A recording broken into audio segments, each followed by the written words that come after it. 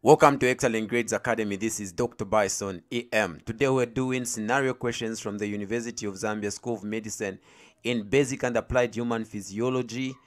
And this was test one that was written. So let's go into this video and look at the solutions. So this is blood physiology and it is likely to be repeated. So make sure you watch this video until the end and you answer all the questions with us. So these are physiology scenario questions and solutions. Number one, this is our scenario. A 28 year old woman comes with her husband to the emergency room. You are asked to see them because she has anemia. So she has anemia. You note that the hemoglobin level was 8.5 grams per deciliter and her hematocrit is 33%. So the remainder of her blood, full blood count was normal. Now our question is define the term hematocrit and the significance of the value obtained is.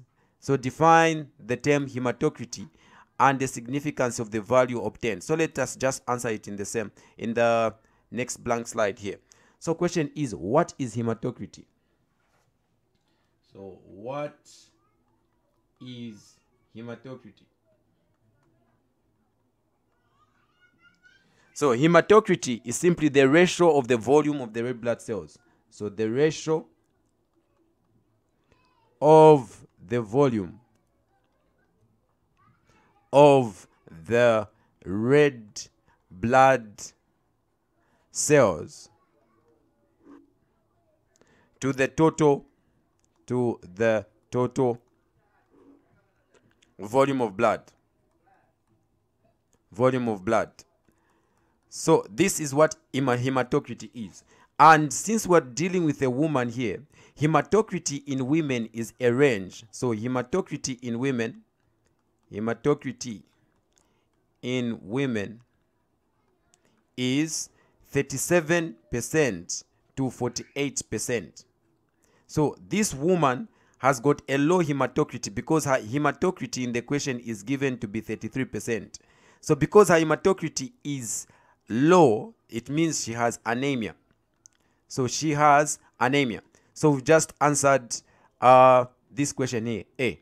Now, A1 says state four factors that can lead to a variation in hematocrit. So state four factors that can lead to a variation in hematocrit. What that means is that what factors, what factors can lead to an increase or a decrease in hematocrit. Okay, in hematocrit. So now you know that an increase in hematocrit is what we call polycythemia. An increase in hematocrit is what we call polycythemia. So now they're asking us what can cause polycythemia? What can cause polycythemia is an exposure to high altitudes. So number one, exposure to high altitudes. Number one. So what high altitudes will cause is that there is decreased concentration of oxygen at high altitudes. So you're going to develop, develop hypoxia. And that hypoxia is going to be sensed by the kidneys. And the kidneys are going to produce a hormone that is called erythropoietin. And this erythropoietin is going to cause an increased production of red blood cells. Hence, you're going to have polycythemia. Number two, it is dehydration if you had de dehydrated, what that means is that your plasma volume is going to decrease. If your plasma volume decreases, it means that the ratio of the red blood cells to that of the total blood is going to increase. Hence, you're going to have polycythemia. So, one factor is an increase to hematocrit. The other factor is actually a decrease in hematocrit. So a decrease in hematocrit is also a variation that we call anemia. Anemia. So now, the question is, what causes anemia? What causes anemia? There are a lot of things. So number one, iron deficiency will cause anemia. So iron deficiency will cause anemia. Also, increased hemolysis. Okay, increased red blood cell hemolysis. Hemolysis, which can be caused by diseases such as malaria. So, caused by malaria, malaria, or drugs, etc. The other thing that can cause anemia is pregnancy. So pregnancy will cause a variation in hematocrit and also kidney failure. You know, kidneys are the ones that produce erythropoietin, which is a hormone that will cause the production of red blood cells. So pregnancy, kidney failure, and increased red blood cell hemolysis will cause a variation in hematocrit. So we've looked at five things here. Number one, under polycythemia, we said exposure to high altitudes. Number two, dehydration.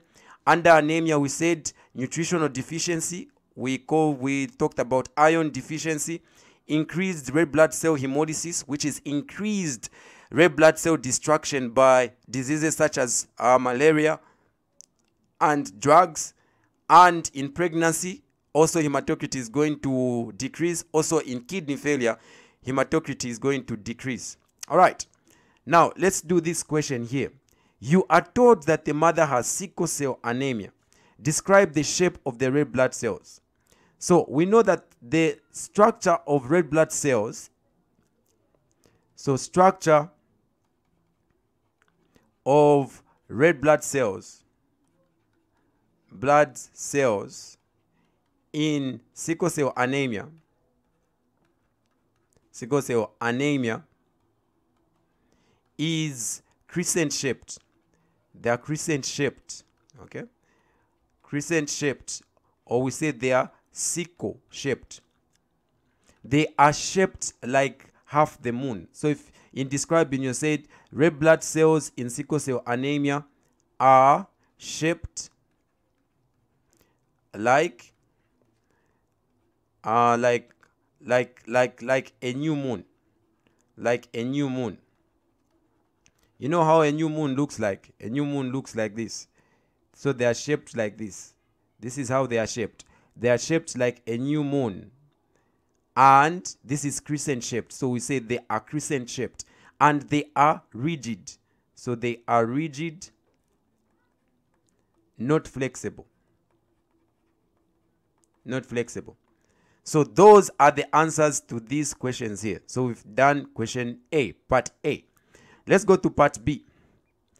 Part B says the husband wishes to donate blood to his wife, but is of blood group O plus and has a hemoglobin of 22.5 grams per deciliter, while the wife is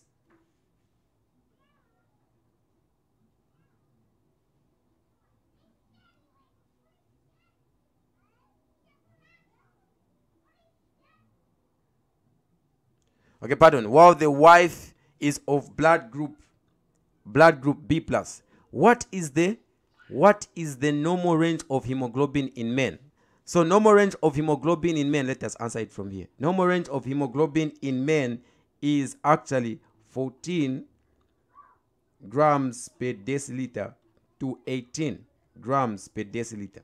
So that's question uh, b1 number two what is the pathology pathological conditions what is the pathological condition does the husband have so you see the husband actually has got a high hemoglobin. His hemoglobin range is supposed to be from 14 to 18 but he has 22.5 meaning that he has polycythemia. So the answer here is polycythemia.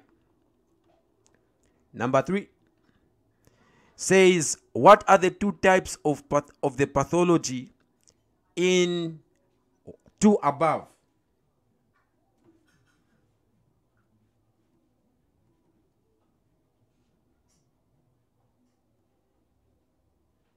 What are the two types of pathology in two above? So there are two types. We've got what we call polycythemia vera and we have polycythemia rubra. Okay, so the two conditions here, number three, we have polycythemia, polycythemia vera, and we've got polycythemia rubra. So others would just say primary polycythemia and secondary polycythemia. Okay, primary polycythemia and secondary polycy- polycythemia. Number four, the pathological condition in two above, which is polycythemia, is characterized by, by an increase in erythropoiesis, which is just production of red blood cells.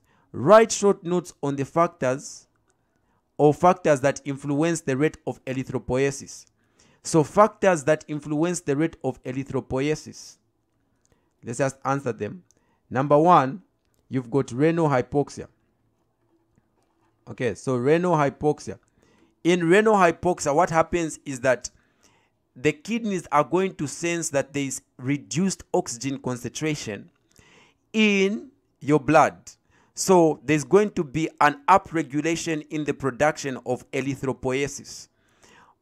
When what happens is that there's overproduction of erythropoietin. Now the erythropoietin that is produced is going to go to the bone marrow and is going to upregulate the production of red blood cells. When this erythropoietin goes to the red blood cells, it will increase the production of erythrocytes by a rate of 10. So the erythropoiesis rate will be 10 times the normal. It will be 10 times the, ren- the normal. So number one factor is renal hypoxia. Number two factor are what we call prostaglandins. Okay. Prostaglandins. So your prostaglandins are also going to increase the production of your red blood cells. So prostaglandins are also going to increase the production of erythropoietin, which in turn is going to increase the production of red blood cells. Number three is epinephrine.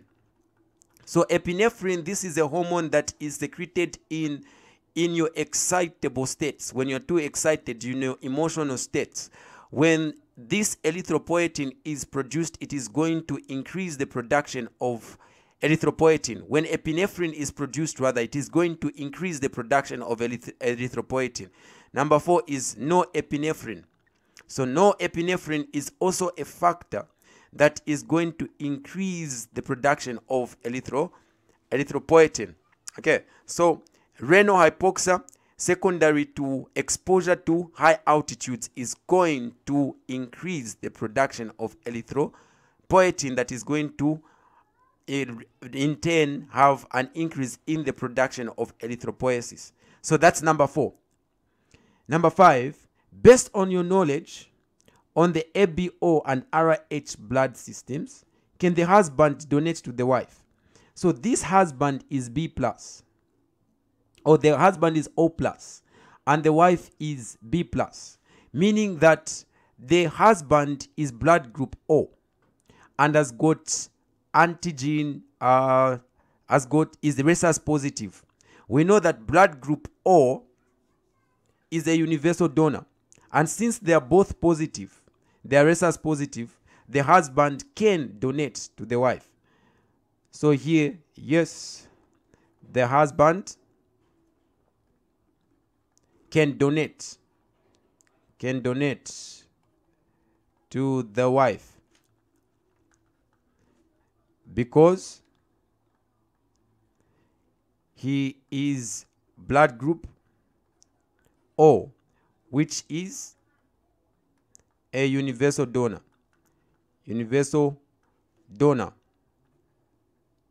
Because we know that blood group O doesn't have any any antigens. So that it's a universal donor. And both of them, both of them are RH positive. So the husband can donate to the wife. Let's look at part 6. Based on your answer above, explain why the husband can or cannot donate to the wife. So we've already explained. The husband can donate to the wife because the blood the husband is blood group O and blood group O is a universal donor. It doesn't have any antigens. So it can't cause any agglutination when donated to the wife. and both of them are rh positive so because they are rh positive the wife doesn't have antibodies against the antigens that are present on the blood cells of the husband let us look at part c so part c says you run further tests on the woman and find that her activated thromboplastin time is 35 seconds and prothrombin time is 14 seconds. What are the three pathways of blood coagulation? What are the three pathways of blood coagulation? So the three pathways of blood coagula coagulation are, so let's see C1. We've got the intrinsic pathway, intrinsic pathway. Number two, we've got the extrinsic pathway. And number three, we've got the common pathway. So these are the three pathways. These are the three pathways of blood coagulation. Number two is saying what is the significance of the ATPP, the APTT, and the PT, and where her values within normal. So now the significance, the significance of the APTT and the PT is that they measure how long it takes your blood to clot. Okay, so CB here, APTT and PT measures how long it takes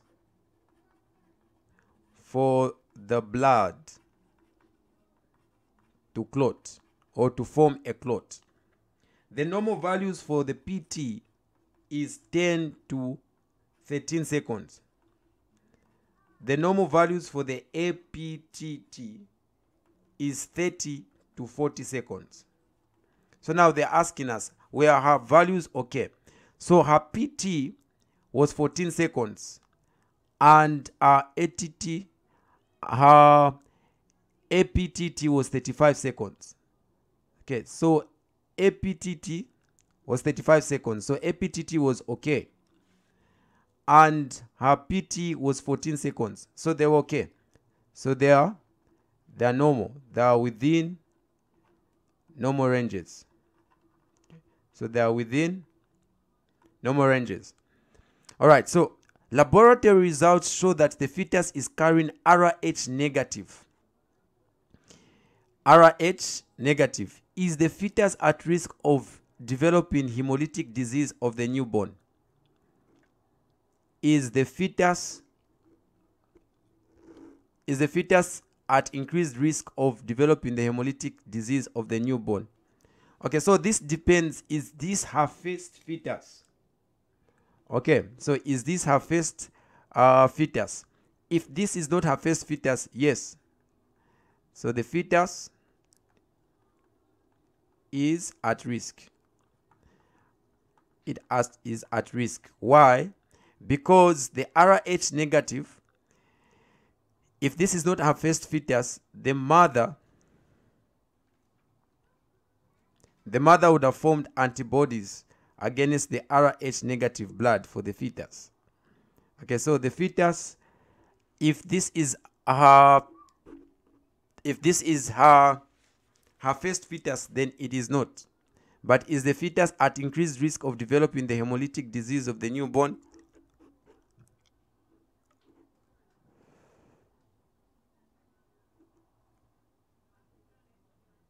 Yes, the fetus is at risk. All right. So now, these were the questions that were in your test one under blood. Okay, so the next video is going to contain questions that are going to contain solutions to uh, cell physiology and body fluid compartments. All right, watch out for our next video and let's learn.